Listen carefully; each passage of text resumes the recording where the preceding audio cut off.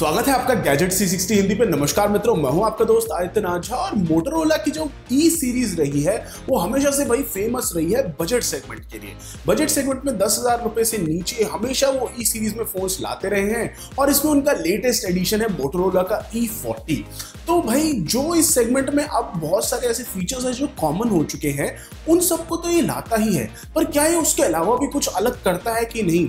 और क्या क्या फीचर्स ये ला रहा है और क्या कॉम्पिटिशन के खिलाफ ज़बरदस्त है कि नहीं? ऐसे बड़े सारे चुनिंदा सवालों का जवाब देने आज मैं आपके साथ आ चुका हूँ। तो अगर आप गैजेट सी सिक्सटी हिंदी पे नए हैं तो भैया चैनल को सब्सक्राइब कीजिए, वीडियो को लाइक कीजिए, जरा वो नोटिफिकेशन बेल को भी बजा दीजिए, और हम वीडियो शुरू करते हैं।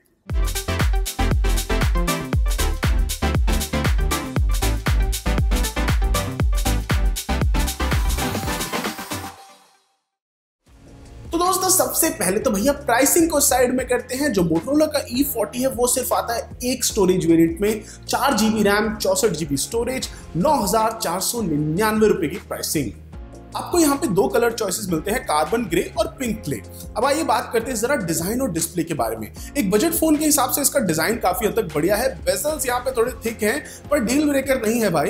प्लास्टिक बॉडी है और उतना ज़्यादा फिल्मसी सा नहीं फील हुआ. अच्छा फील हो रहा था हैंड में.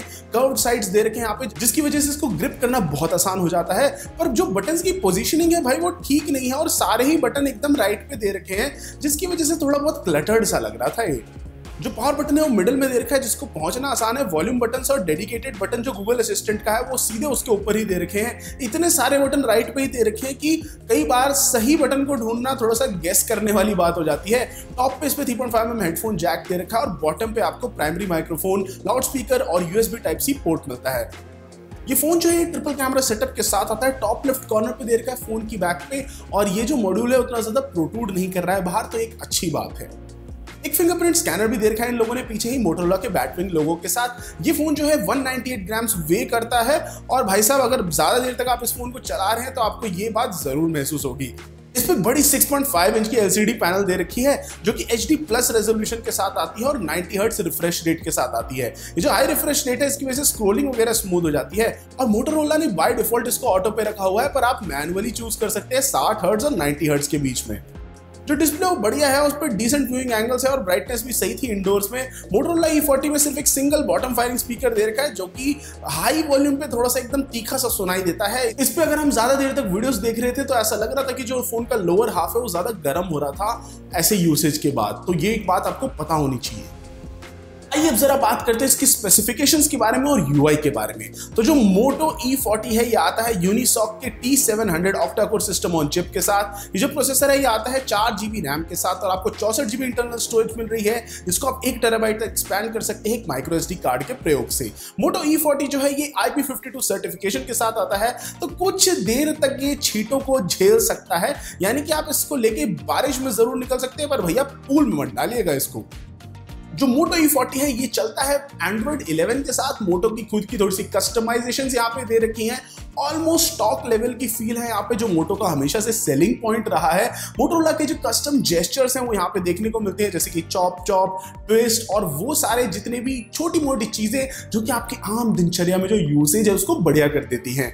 और मोटोरोला के जो माई यू कस्टमाइजेशन है, वो भी यहाँ पे आपको देखने को मिलते हैं। और इसी के अलावा मोटोरोला ने थ्री बटन नेविगेशन लेआउट को बाय डिफ़ॉल्ट यूज़ करा है यहाँ पे। आप उसको जेस्टर नेविगेशन पे स्विच कर सकते हैं। ओवरऑल हमको जो स्टॉक एंड्रॉइड एक्सपीरियंस था यहाँ पे वो काफ़ी तक बढ़िया लगा। और मोटो ई फोर्टी की एक सबसे ज़बरदस्त बात यह है कि इस पर कोई भी स्पैमी नोटिफिकेशन या एड नहीं आते हैं।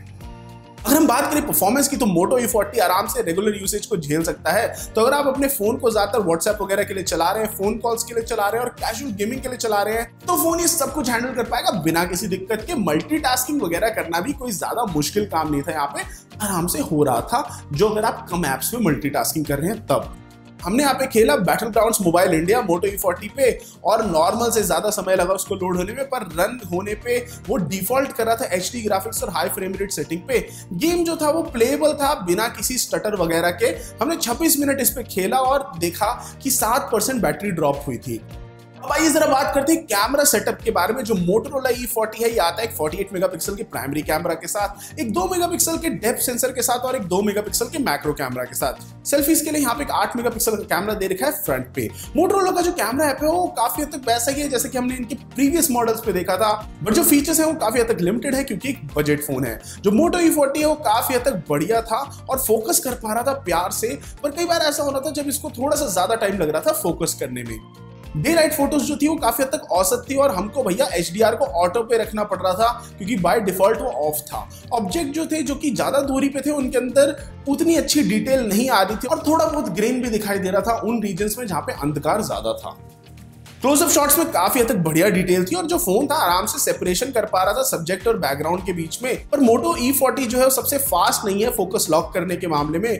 और कई बार हमको स्क्रीन पे टैप करना पड़ रहा था फ़ोटोज़ पे फोकस करने के लिए। पोर्ट्रेट शॉट्स जो थे, उनको काफ़ी हद तक समय लग रहा था प्रोसेसिंग होने में, पर जो फ़ोन है, वो आराम से चेहरों को डिटेक्ट कर पा रहा था और हम बैकग्राउंड ब्लर को भी सेट कर पा रहे थे, पर हमने ये नोटिस करा कि वो काफ़ी हद तक एग्रेसिव सा था। मैक्रो शॉट्स जो थे, वो ठीक ठाक थे, पर उतने ज़्यादा शार्प नहीं थे। और ऐसा लगा कि अगर ये लोग अल्ट्रा वाइड एंगल कैमरा दे देते मैक्रो कैमरा सेंसर देने के बजाय तो शायद ज़्यादा मज़ा आता, पर मे बी ये संभव नहीं था इस बजट सेगमेंट में। लो लाइट फ़ोटोज़ जो थी, वो तो भैया औसत से भी नीचे लेवल की थी। ये जो फ़ोन है ठीक ठाक मैनेज कर पा रहा था नॉइस को कंट्रोल में रखने का, पर फ़ोटोज़ काफ़ी हद तक एकदम सॉफ्ट सी नज़र आ रही थी और कलर्स में भी थोड़ी बहुत दिक्कत थी लो लाइट सिचुएशंस में। जो नाइट मोड है, उसको आराम से पाँच सेकेंड या उससे ज़्यादा लग रहा था एक शॉट लेने के लिए, और वो थोड़ा बहुत मदद ज़रूर करता है शार्पनेस बढ़ाने में और लाइट ज़्यादा कैप्चर करने में डार्क सीन्स में। जो सेल्फीज हमने डे लाइट में ली, वो काफ़ी हद तक सही थी, पर जो लो लाइट में ली गई सेल्फीज थी, वो एकदम फ्लैट सी लग रही थी। सेल्फी पोर्ट्रेट्स में काफ़ी हद तक बढ़िया एज डिटेक्शन था, पर आराम से एक दो सेकंड लग रहा था एक फ़ोटो कैप्चर करने में। वीडियो रिकॉर्डिंग मैक्स टेन तक जाती है प्राइमरी कैमरा पे और सेल्फी कैमरा पे भी, और इस फ़ोन में किसी भी प्रकार का स्टेबिलाईजेशन नहीं दे रखा है। डे लाइट फुटेज जो है वो काफ़ी हद तक औसत लग रहा था, और ये फ़ोन थोड़ा बहुत काम कर पा रहा था नॉइस को कंट्रोल में रखने के लिए लो लाइट सिचुएशंस में। अगर हम बैटरी लाइफ की बात करें तो मोटरोला E40 में बैटरी लाइफ काफ़ी हद तक बढ़िया है। आराम से डेढ़ दिन से ऊपर की यूसेज मिल रही थी। हमारी टीम को टेस्टिंग में जो मोटो E40 में बड़ी पाँच हज़ार एमएच की बैटरी है, वो पंद्रह घंटे सात मिनट चली थी हमारे H D video loop test में। बैटरी लाइफ काफ़ी हद तक बढ़िया है। चार्जिंग थोड़ी सी स्लो है। इस फ़ोन को सिर्फ़ इक्कीस चार्ज मिला तीस मिनट में और फोर्टी चार्ज मिला एक घंटे में, जो कि बाय डिफ़ॉल्ट आपको 10 वॉट का चार्जर मिलता है बॉक्स के अंदर, उसके साथ आपको भाई साहब दो घंटे से ऊपर इंतज़ार करना पड़ेगा। अगर आप बैटरी को पूरी तरीके से चार्ज करना चाहते हैं, उसी 10 वॉट के चार्जर से तो ये थोड़ी सी दुखद बात है।